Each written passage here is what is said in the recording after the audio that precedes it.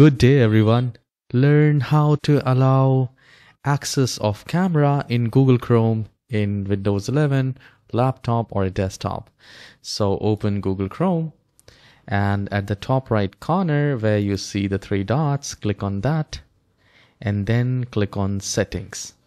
The moment you click on settings, you will see a window like this. And here we need to go to this privacy and security and then we will go to site settings.